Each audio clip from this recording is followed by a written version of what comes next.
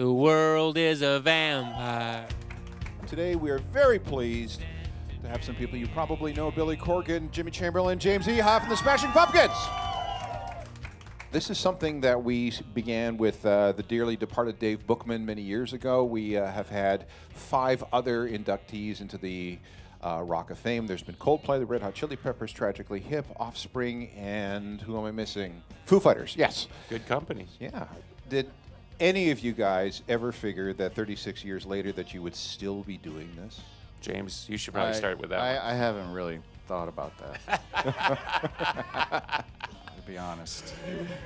It's it's it's a weird way to make a living because you get into it because you love playing music and you love writing music. And That's then- not why I got into it. Uh, my father was a musician, and I decided that the only way I was going to get out of the life that I was in was music. And so, music for me was survival. It was like, get me out of here. Get us out of where? Chicago, It, just Chicago in general.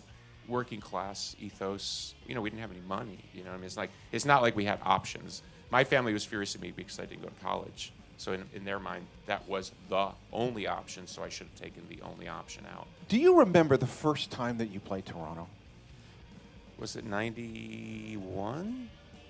90 or 91. Because the first show I remember you guys with is opening for the Chili Peppers, you and Pearl Jam. That was That wa- 92. that was later. That was '92. Yeah. so that was That's at the when we Masonic brought in the guy, the fire eater guy.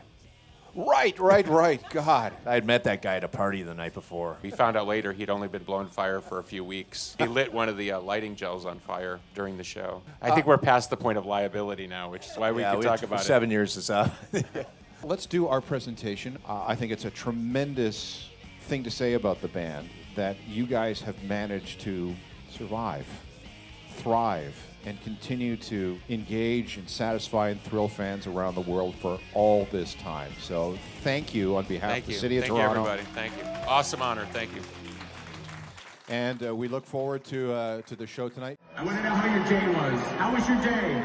You know, it was pretty good. Uh, we went to that, uh, the, the edge, the edge, the edge. Very nice. 102.1 The Edge. Give it up to Toronto's finest. But James, that was a great honor being uh, inducted into their Hall of Fame.